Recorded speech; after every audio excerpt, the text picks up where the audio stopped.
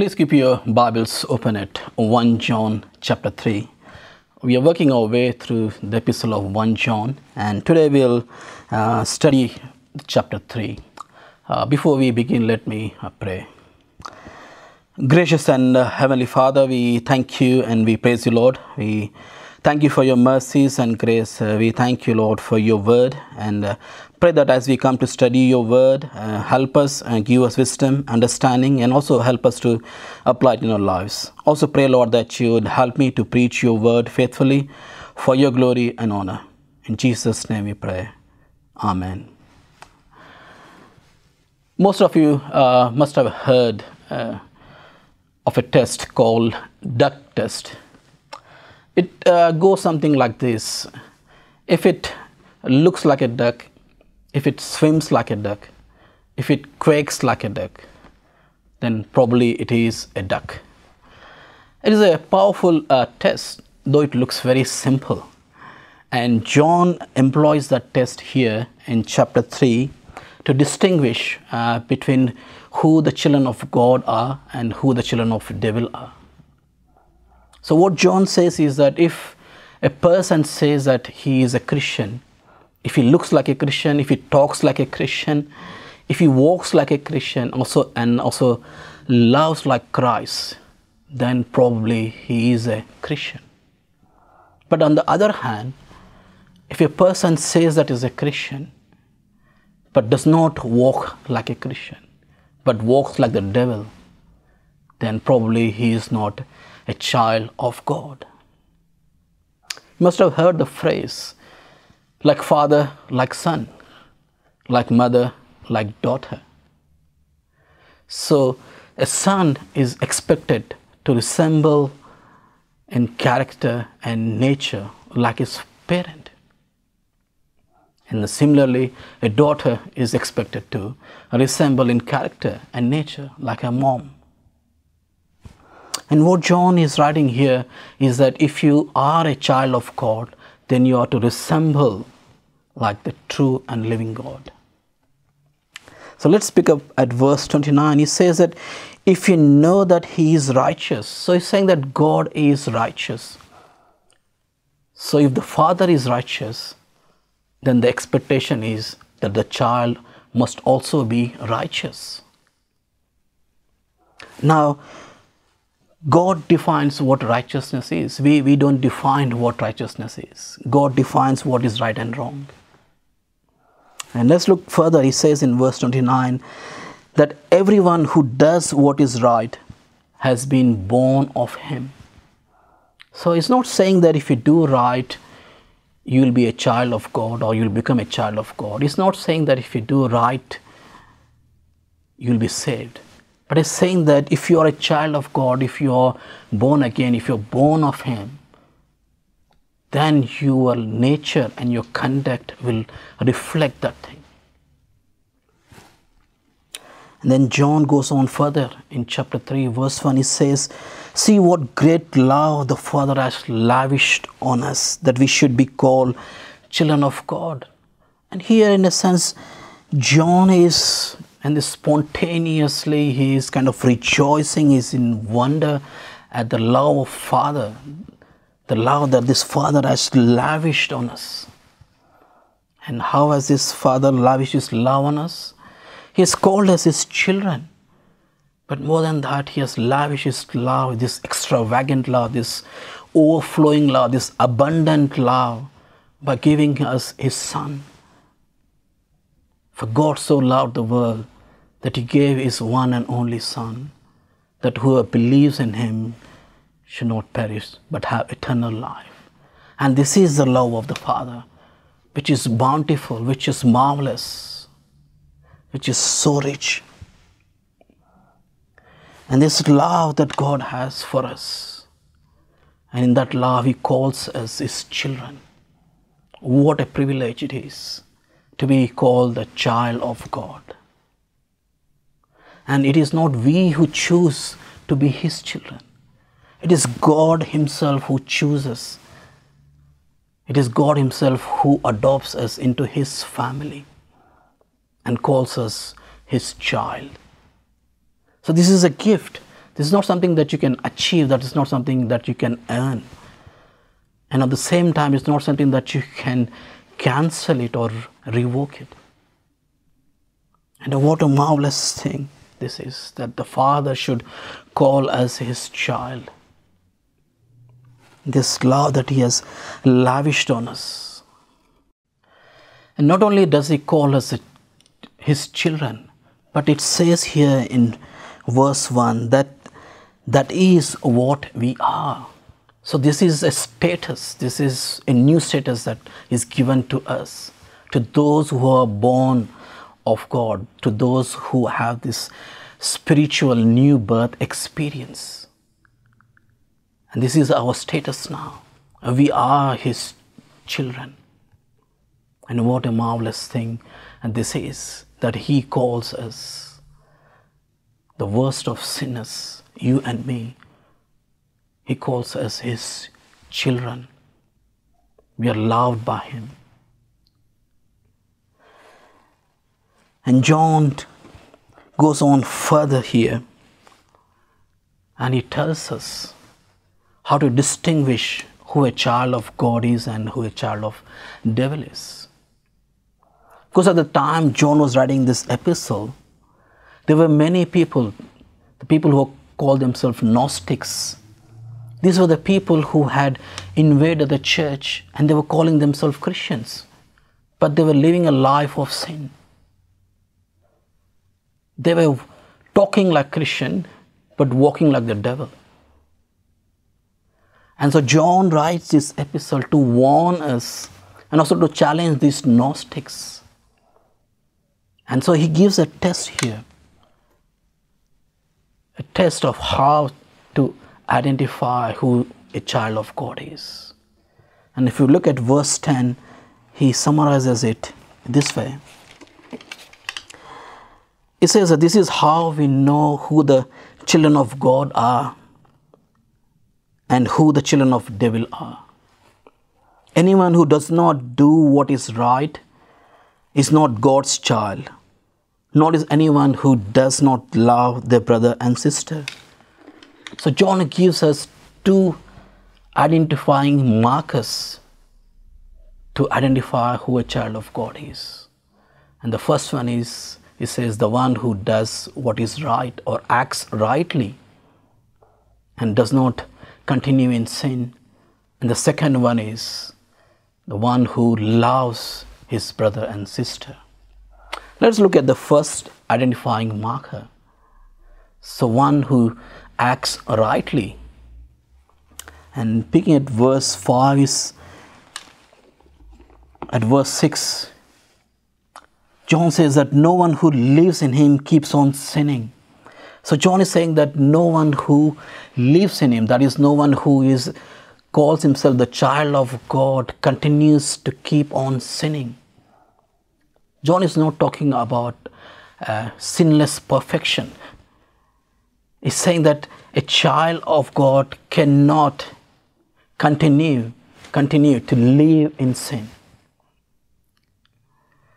So, the lifestyle of children of God cannot be characterized by sin. Sin cannot be habitual thing. What John says here is very clear. It's not saying that you cannot sin or you will not sin as a child of God, but he's saying that you cannot continue in sin. You cannot keep on sinning. So, the child of God cannot have this habit of sinning.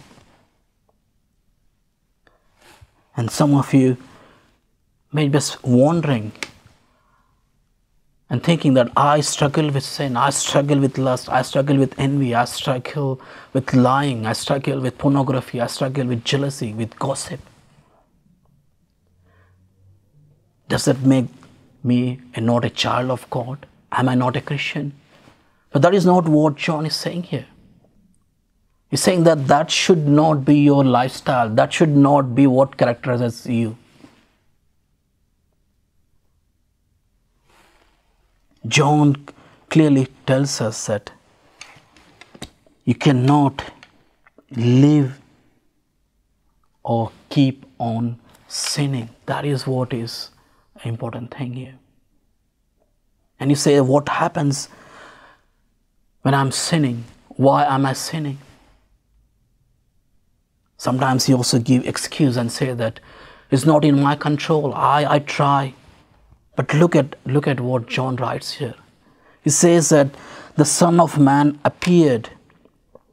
If you look at very carefully here, he says the Son of Man appeared to destroy the works of the devil.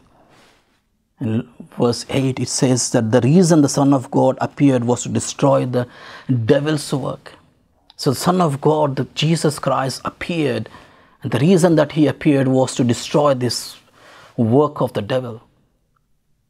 And he adds more and says that in verse, if you look at carefully at verse 5, he says, But you know that he appeared so that he might take away our sins.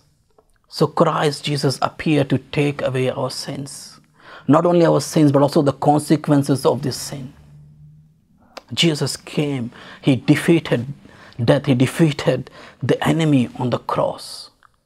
And now the enemy has no power over the child of God. He has been defeated already.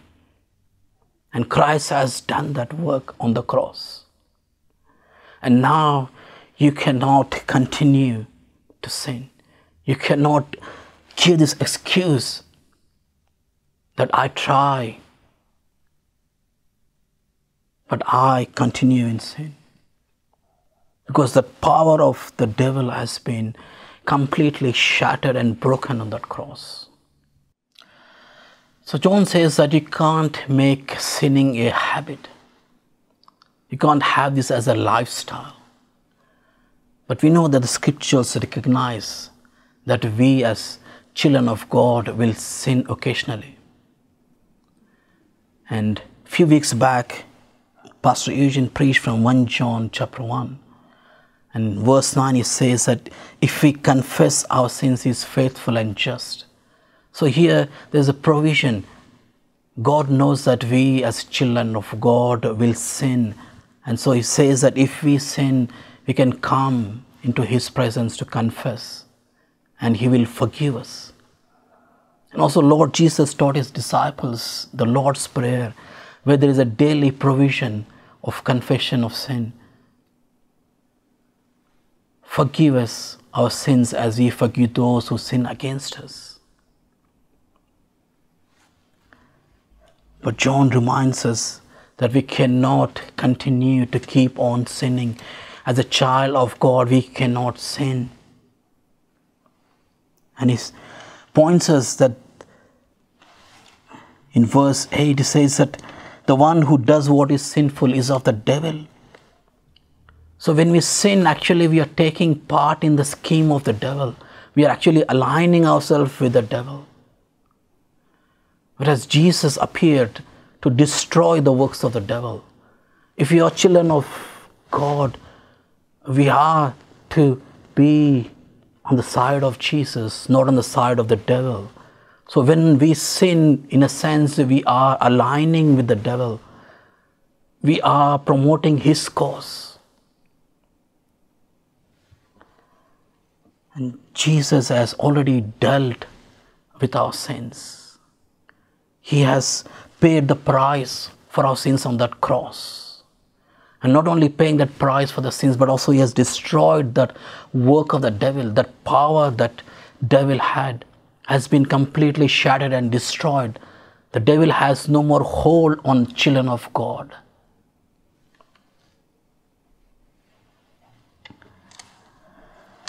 And John reminds us, he says that here very clearly that as the children of God, we cannot sin. And the reason that he gives is in verse 9.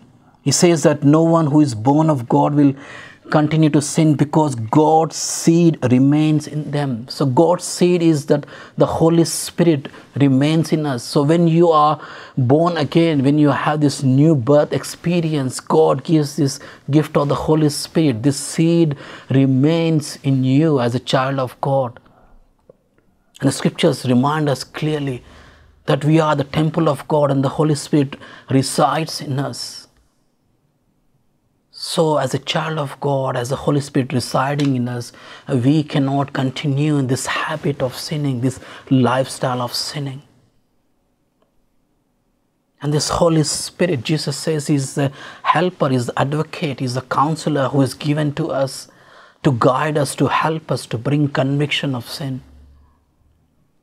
And this seed, the Holy Spirit, helps us to abide in Him, to walk in light, and not to walk in darkness. Now, if Jesus has dealt with you and my sins, if Jesus has broken the power of the devil on the cross, how can we any longer continue living in sin? How can we say that we are helpless? How can we give excuse for continuing to remain and have that lifestyle of sin?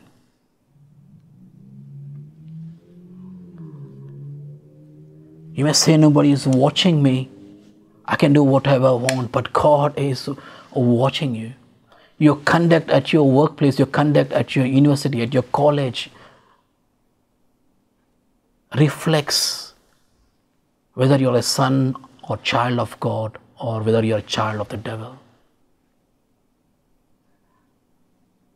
If you are the child of God, you will resemble the character and the nature of God.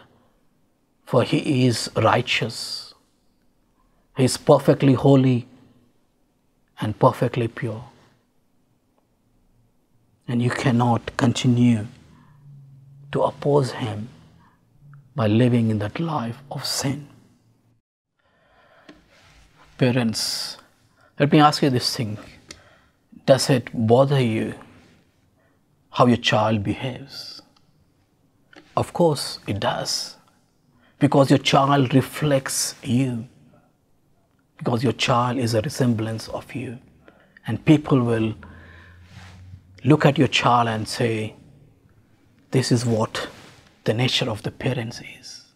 And similarly, if we are the children of God, it does matter how we live, it does matter how we conduct ourselves. And let's look at the second identifying uh, mark of a child of God. And it says that the second identifying mark of a child of God is his love for his brother and sister. And love is such an important theme in the book of John and in the, in the letter of John. And John here gives two examples of love. One is positive and one is negative. So he first talks about the negative example. He speaks about Cain. He says, Do not be like Cain, who murdered his own brother because his actions were evil, whereas his brother Abel's actions were righteous. So we see here again a clear distinction the actions of Cain were evil, his acts were wicked, whereas the actions of his brother were righteous. And you may say, But I'm not like Cain, I won't murder anybody. But if you look, John goes on further in verse 15. He says that anyone who hates a brother or sister is a murderer. So saying not only the physical act of killing, but he's saying even if you hate your brother, it is equivalent to murdering him. Even your thoughts, your intentions matters.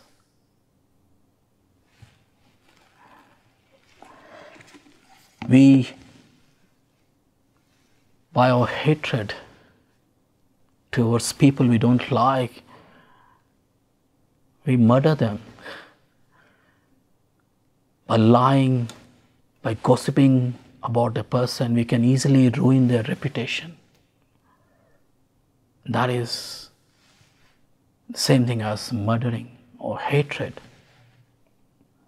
There must have been many occasions in your life when you did not want to talk to a person or see him face to face. As he walks into the room, you just leave away. Many times there is a deep hatred in the heart. You look at that person you hate and you want to sit at the different corner in the room.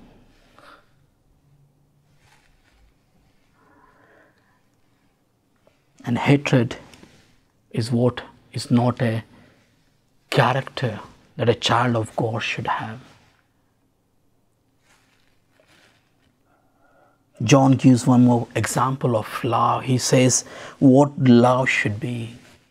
He looks at Jesus. He says, This is how we know what love is. Jesus laid down his life for us, and we ought to lay down our lives for our brothers and sisters. So he looks at this perfect example of love, Jesus Christ, who died on the cross, who laid his life. So this is an example of sacrificial love. Whereas the example of Cain, you see, his actions resulted in murder of someone, killing of someone. The hate is, in a sense, negative. It leads you to harm somebody, even to the point of killing them. On the contrary, love is positive. It leads you to do good for someone, even to the point of giving your own life. Now we are meant to imitate, we are meant to follow the example of Jesus by laying down our lives. But the very rare occasions when we'll be required to lay down our lives. But he gives a practical example of what love means. If you look at verse 17, it says, If anyone has material possessions and sees a brother or sister in need, but has no pity on them, how can the love of God be in that person? So, John says here that if you have a material possession, but you don't care about a brother or sister who is struggling, how can there be love in you? Now you may say, I'm a poor university student. You may say, I'm a person, I have a young family, I don't have enough money, but are you willing to sacrifice? Are you willing to not spend that money on the expensive mobile phone or that expensive beauty care or that expensive beauty products? Are you willing to let go of spending money on your coffee each day or going out dining each day and use that money to help those who are in need, to help those who are struggling?